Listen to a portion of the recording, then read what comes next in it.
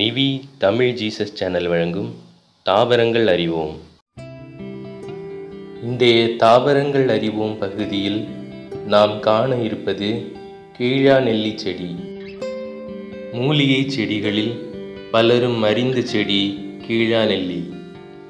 மஞ்சள் காமாலையை குணப்படுத்துவதோடு முடி நரைத்தல் உட்பட பலவிதமான தலையாய பிரச்சனைகளுக்கும் இது சிறந்த தீர்வாக உள்ளது.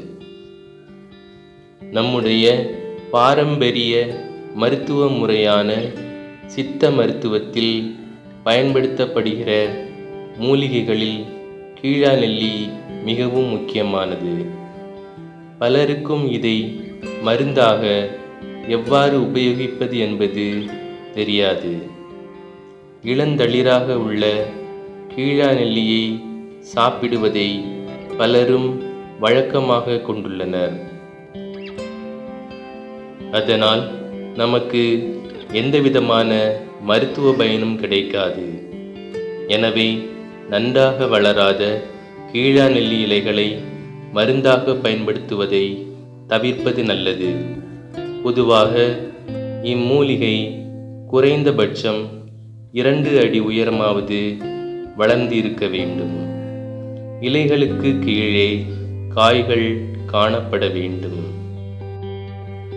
சித்த மருத்துவத்தில் கீழாநெல்லி இலைகளை எந்த காரணத்துக்காகவும் தண்ணீரில் கொதிக்க வைத்து கஷாயமாக குடிக்கக்கூடாது. அவ்வாறு செய்தால் இந்த மூலிகையில் உள்ள வேதிப்பொருட்களின் செயலாற்றும் தன்மை மெல்ல மெல்ல குறையும். இந்த இலைகளுடன் தண்ணீர் சேர்த்து அரைத்து பத்து கிராம் அளவு வெள்ளாட்டுப்பால் அல்லது மோரில் கலந்து மூன்று முதல் ஐந்து நாட்கள் வரை சாப்பிட்டு வரலாம். இந்த கலவையை சித்த மருத்துவத்தில் கற்கம் என குறிப்பிடுவார்கள்.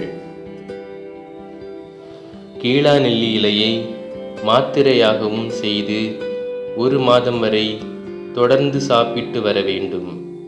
இதன் மூலம் மஞ்சள் காமாலையால் பாதிக்கப்பட்டவர்களில் அறுபது சதவீதத்தினரை முழுமையாக குணப்படுத்தலாம்.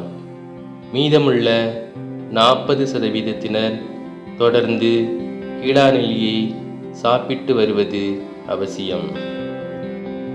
கண் நோய் பித்த நோய் சிறுநீர் பெருக்கியாகவும் வெப்பு அகற்றியாகவும் வீக்கம் கட்டி ஆகியவற்றை கரைத்து நரம்பு சதை ஆகியவற்றை சுருங்கச் செய்யும் மருந்தாகவும் செயல்படும் கீழா நெல்லி செடி தீராத தலைவலி கல்லீரல் பழுது இரத்த சோகை இவைகளுக்கும் மருந்தாகும்.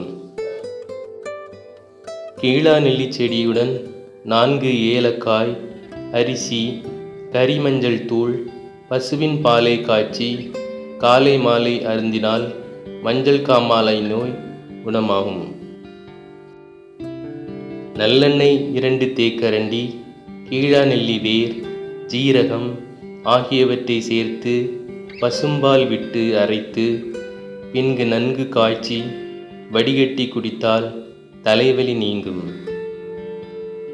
கீழா நெல்லி நான்கு அல்லது ஐந்து செடி ஜீரகம் ஏலக்காய் திராட்சை இருபது கிராம் தண்ணீர் இரண்டு லிட்டர் விட்டு காய்ச்சி வடிகட்டி ஒரு வேளைக்கு அறுபது முதல் தொண்ணூறு மில்லி தினம் இருவேளை சாப்பிட்டு வந்தால் மஞ்சள் காமாலை குணமாகும். நெல்லிக்காய் முப்பது கிராம் நான்கு மிளகுடன் இடித்து இரண்டு டம்ளர் நீரில் போட்டு காய்ச்சி மூன்று வேளையாக குடித்து வந்தால் உடல் சூடு காய்ச்சல் தேக எரிச்சல் தீரும்.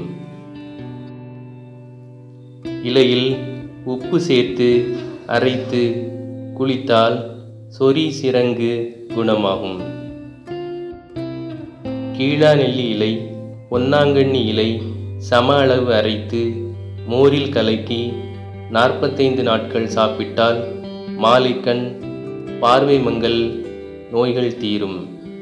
இதன் இலைச்சாறு பொன்னாங்கண்ணிச்சாறு சமன் கலந்து நல்லெண்ணெயுடன் கலந்து காய்ச்சி குளித்தால் பார்வை கோளாறு தீரும். ஒருவருக்கு பல நாட்களாக ஹெப்படைட்டிஸ் பி மற்றும் சி பாதிப்பு இருந்தால் கல்லீரலை முடக்கிவிடும். இதன் காரணமாக கல்லீரலில் புற்றுநோய் வருவதற்கு வாய்ப்புள்ளது.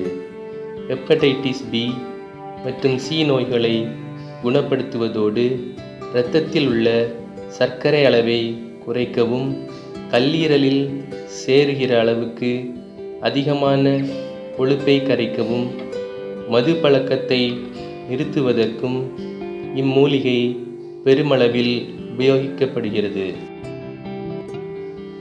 அது மட்டுமல்லாமல் பித்தம் காரணமாக ஏற்படுகிற முடி நரைத்தல் மற்றும் முதிர்தல் போன்ற பிரச்சனைகளையும் கீழாநெல்லி குணப்படுத்துகிறது.